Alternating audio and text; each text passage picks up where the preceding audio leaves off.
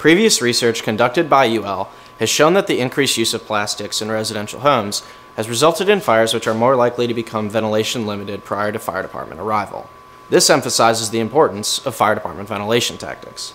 Realistic live fire training is an important tool to help firefighters understand how fires react to ventilation tactics.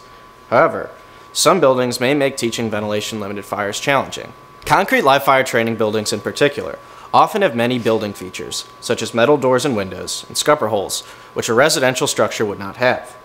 While these construction features aid with cleanup and ease of use of the concrete building during training evolutions, the leakage air in the structure affects the fire dynamics. Consider the differences between the concrete live fire training building and the ranch house, used in the horizontal, vertical, and positive pressure ventilation projects.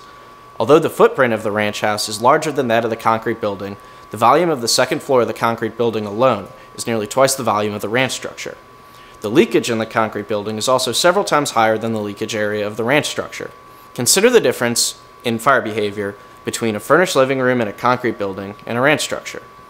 Because of the additional leakage air, the fire in the concrete building does not become underventilated when all exterior doors and windows are closed, as the ranch structure does. The ranch structure behaves similarly to the ideal ventilation limited fire curve, growing after ignition to a point where the fire becomes underventilated, and only growing again once additional oxygen is provided. Instead, the fire in the concrete burn building reaches a ventilation limited steady state, transitioning to flashover when a vent is open close to the fire.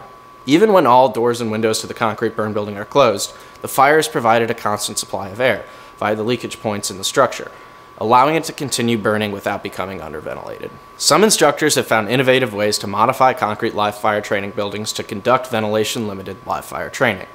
Since this may not always be possible, it is important that instructors and students understand the difference in fire dynamics between their training props and the fire ground.